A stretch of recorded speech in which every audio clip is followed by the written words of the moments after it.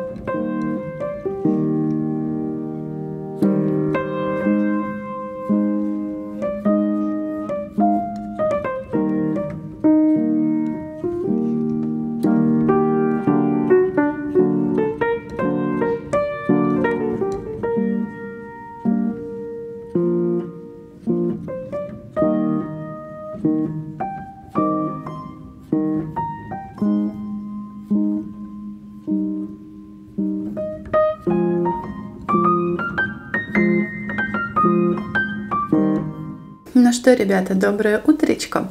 И поговорим сегодня с вами про курс на Хекслете, который я проходила. Наконец-то. Вот мой конспект. Я вам его покажу в конце этого ролика. Ну так, просто, чтобы вы видели, что я туда записывала, что я туда выписала с этого курса. Итак, Занималась я на сайте Hexlet, я вам уже оставляла ссылочки на него не один раз, но еще раз оставлю под описанием к этому видео. Этот э, ресурс предполагает как платные, так и бесплатные курсы. Я пока прохожу только бесплатные, потому что их там очень много, как бы, и это не ограничено. То есть нет такого, что вот первые 30 дней бесплатно, а потом платно. Нет, в принципе, ты можешь когда угодно проходить бесплатные курсы. Вот, понадобится тебе там какой-то платный курс, можешь его пройти. Но в принципе вот бесплатных там дофига. Я даже не знаю, когда это все можно успеть пройти. А, мой курс назывался «Введение введение в веб-разработку. Очень удобно, что на когда начинаете курс проходить, там всегда указано, сколько часов он у вас займет. Этот курс занимает 3 часа, но, понятное дело, это все очень приблизительно. Я проходила 2 дня. Ну, не с утра до вечера, конечно, но, тем не менее, 2 дня, потому что я выписывала абсолютно всю информацию, которую я не знала. А я не знала ничего, поэтому конспектировала я, ну вот практически абсолютно все. Когда вы открываете курс, там сразу, а, так сказать, содержание этого курса, то есть что вы будете проходить, и вы можете посмотреть, с чем вы будете а, ознакомливаться в процессе прохождения этого курса. И первое там введение, там в общих чертах дается понимание, что такое фронтенд, что такое бэкенд, ну для тех, кто совсем ничего не понимает, потому что, знаете, а, если на меня каким-то образом, вообще каким-то образом посмотрят какие-нибудь прожженные программисты, они подумают, что я говорю какую-то хрень. Им с высоты их опыта и знаний это действительно покажется хренью. Но скажу, а, для тех, кто с компьютером знаком исключительно вот как я в качестве достать компьютер, чтобы посмотреть фильм или, не знаю, там поиграть в какую-нибудь компьютерную игрушечку, для таких которые вообще не понимают, что такое фронт-энд разработка, что такое бэк-энд разработка, направление в программировании, что такое язык программирования, сколько этих языков программирования, какие самые востребованные языки программирования. Для тех, для кого Java и JavaScript это одно и то же по факту, вот для тех как раз подходит вот э, этот курс введение. То есть если вы абсолютно ничего не знаете, если вы зеленый, зеленый, как не знаю, газон после дождя, Проще говоря, если вы какой-нибудь обычный гуманитарий, который всю свою жизнь только книжки по литературе читал и по истории, это как я, то есть истфак, а, для вас, чтобы вы могли понять хотя бы, что такое программирование или IT. Повторяю, это не для продвинутых, это вот для тех, кто вот только-только-только подумал, а можно ли в 30 лет стать айтишником, не поступая при этом в университет, и вообще можно самому научиться программировать, а, или это надо с этим родиться, с этим талантом, даром, предрасположением. Вот этот вот курс как раз введение в веб-разработку, я оставлю именно на этот курс ссылку внизу, это, повторяю, бесплатный курс, абсолютно для всех, как бы можете заходить и проходить, если вам интересно. Это именно такой ознакомительный. Этот курс не научит вас программировать. Этот курс не научит вас всему за три часа, чтобы вы смогли пойти и зарабатывать деньги. Нет, этот курс, грубо говоря, такое введение, чтобы вы могли понять, надо вам это или нет, интересно вам это или нет. Но хотя это тоже, знаете ли, понять надо или нет, э, не совсем корректно, потому что когда я проходила CSS, в рамках этого курса, там надо было буквально чуть-чуть написать кода, я плакала. Но до этого мы еще дойдем.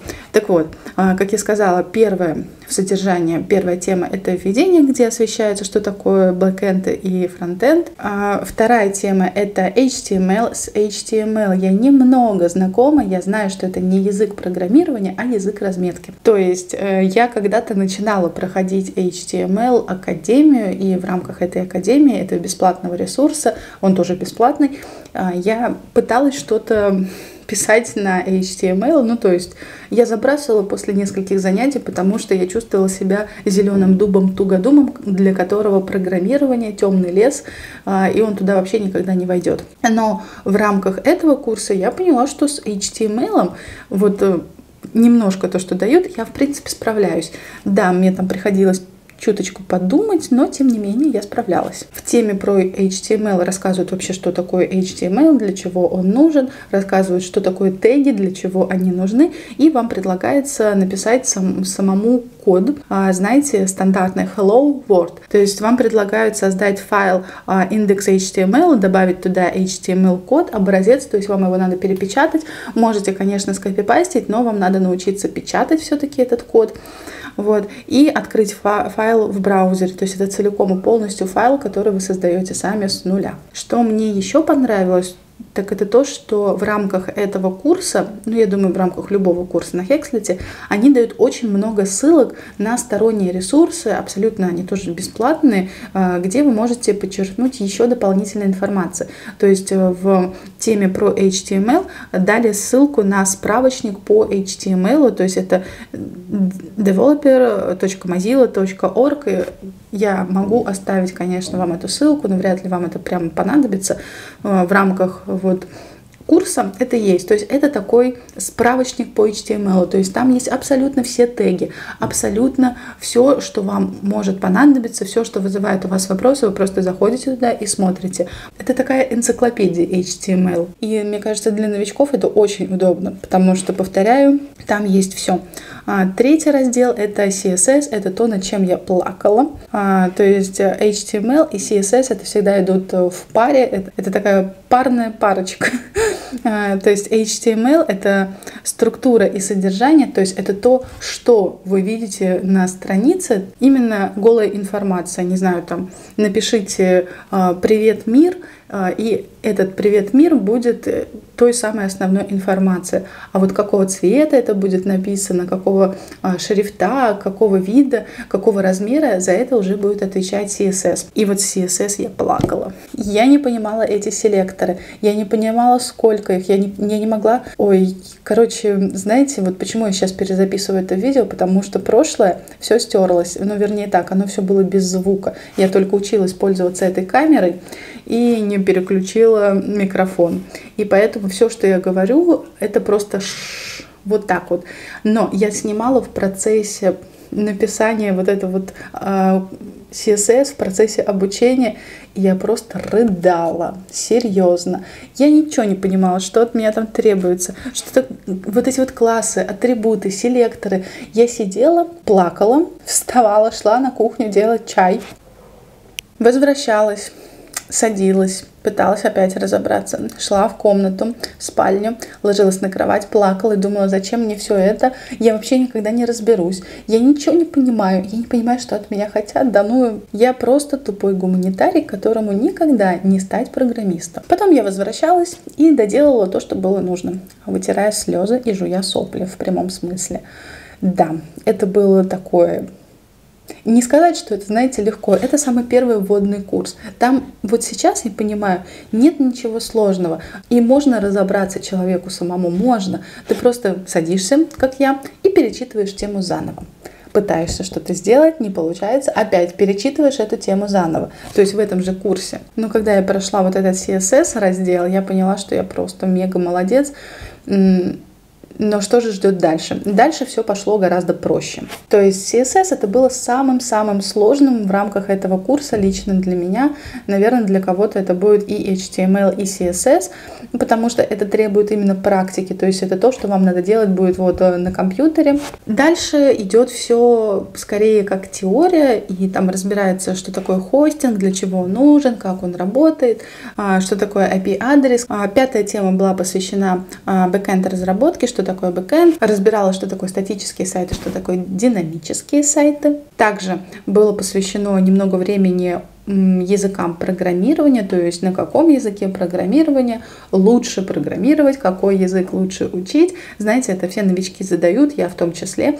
И как бы программисты, как правило, знают не один язык программирования и применяют тот или иной язык э, в тех или иных ситуациях, когда нужно. То есть, понятное дело, есть очень узкоспециализированные специалисты, там, не знаю, которые пишут на питоне, которые пишут на Ruby, которые пишут на Java. А, Все это, конечно, есть, но так или или иначе, в том или ином объеме а, классные программисты хоть немного, но разбираются в каждом из этих языков. И приводили как раз популярные языки для веб-разработки. Я могу вам их назвать. А, это PHP, это JavaScript, это Ruby, это Python, это Go, это Java, то есть Java и JavaScript это разные вещи. И C с решеточкой. Я не помню, как это называется или как это читается, потому что, повторяю, для меня пока что вот на данном этапе я знаю только, что такое питон, потому что у меня а, муж питонист, на питоне программирует. А, я немножко понимаю, что такое, что такое PHP и JavaScript. Если вы внимательно посмотрите на вот тот стенд, который у меня сзади, то вы увидите, в принципе, много книг по программированию. А вообще здесь находится рабочий стол моего мужа, и я туда не полезу, конечно, но его книжки я покажу. Вот те книжки, которые читал мой муж, чтобы как бы стать программистом. Вот эта книжка «Карманный питон» над которой я очень много э, смеялась в свое время, потому что он действительно носил эту книжку в кармане своей куртки зимней и периодически доставал ее читать, когда мы ездили в метро. Также вот эта книжка тоже очень нравилась Денису, «Чистый код». Ни, ничего пока. А, вот как раз вот это я говорила, Си со звездочкой, с, с решеточкой, учебный курс программирования. То есть вот так вот это выглядит книжка. Тоже одна из книг, по которой занимался мой муж. Я, честно говоря, в них заглядываю и понимаю, что это полный кошмар. Я ничего не понимаю, вообще ничего не понимаю, что тут вообще от меня хотят. А, вот э, Java. Java, Java, Java. Изучаем Java. А, конечно, мой муж уже давно не изучает э, вот эти материалы, он изучает на англоязычных ресурсах, а, на английском языке. Это просто то, что осталось с тех пор, как, когда он самостоятельно только-только начинал все это изучать. То есть даже классные программисты когда-то были новичками, которые, ну, вот так вот с трудом осваивали все, что нужно. Правда, а, кто-то был изначально более талантлив. Это точно не я. Ну, в общем, очень прикольно выглядит книжка, знаете, как учебник по английскому языку. Также здесь а, это уже немножечко другое. А вот совершенный код тоже вроде как ничего такая книжка, алгоритмы, кнут. А, я из этого всего читала только разумного инвестора. Ну, вернемся к курсу Hexlet.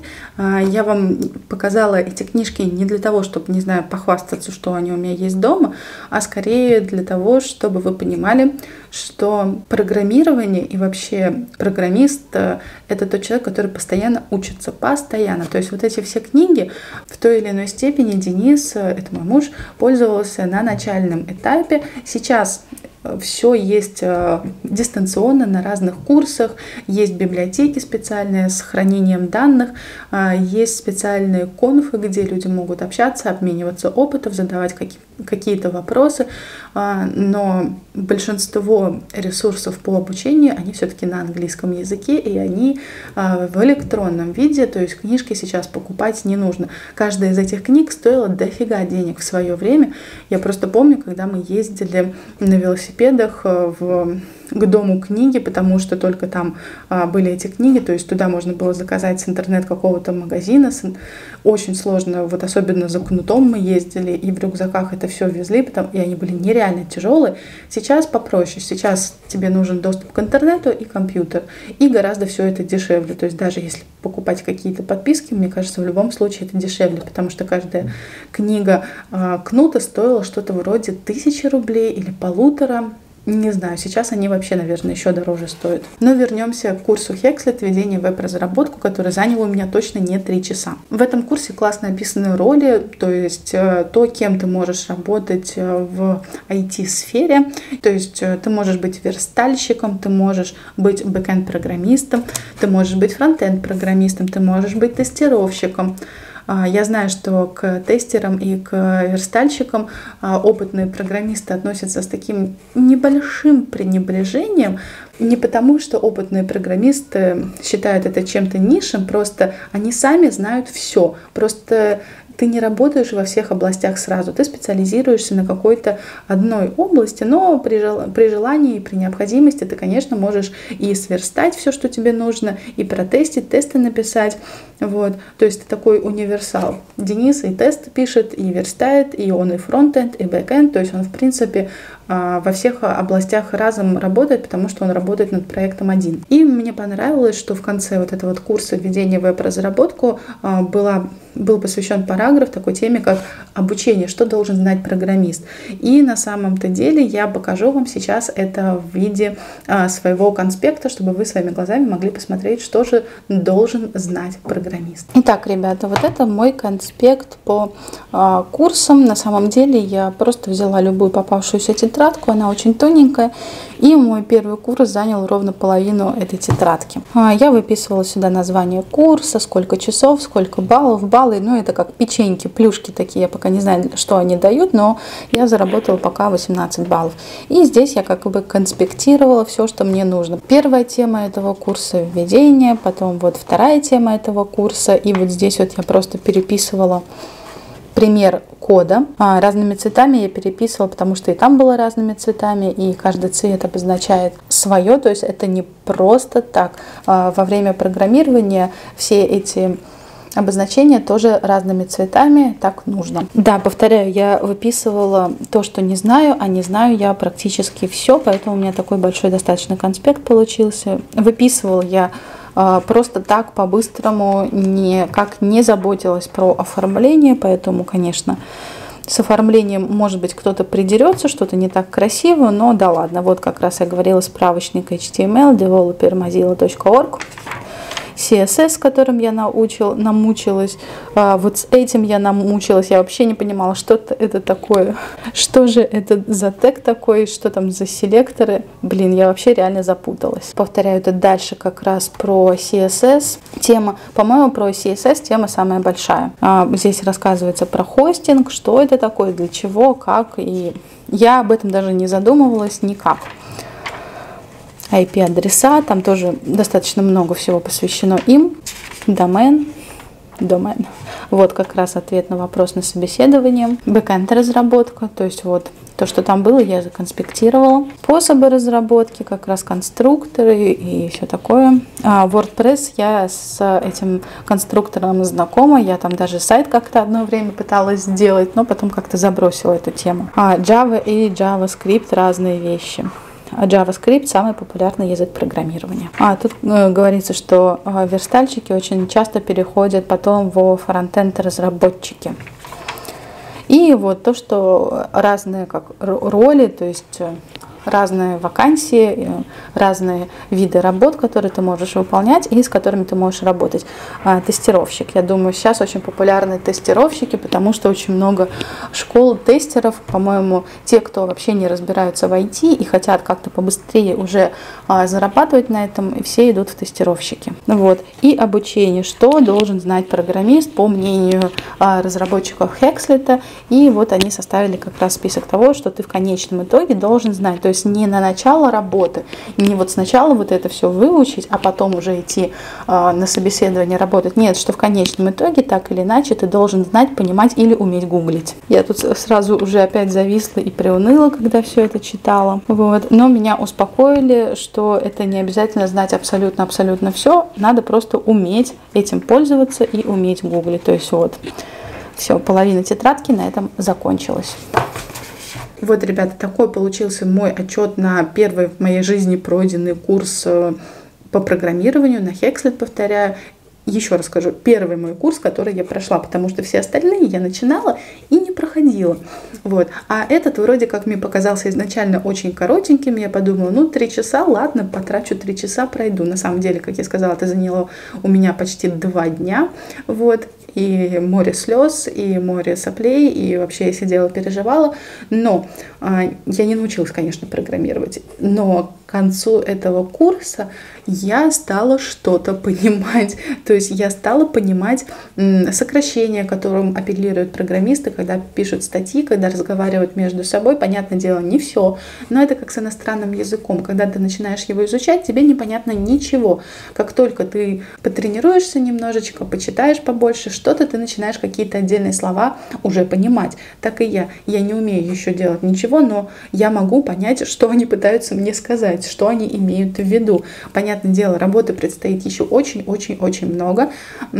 Тяжело, наверное, бороться, знаете, а, с таким пренебрежением а, к себе со стороны программистов. Нет, Денис меня очень поддерживает, он-то вообще считает, что у меня все получится. Но именно в комментариях каким-то курсам, каким-то ресурсам часто пишут, да что вы там хотите, сидите там, где сидите, и не лезьте в IT, IT не резиновые, не знаю, там, идите в универ, заканчивайте, курсы вам не помогут, или если ты гуманитарий, то так и будешь работать в этих областях, а IT это только для технарей. Нет, все абсолютно не так. Как мне кажется, и как говорят мини-токсичные программисты, у каждого есть шанс попробовать свои силы в IT и у гуманитариев, и у технарей, и у тех, кому 15, и у тех, кому, не знаю, 40 лет. И не обязательно для этого заканчивать универ. То есть классно, если вы его закончите. Идите, если вы хотите получить именно фундаментальное образование в этой области.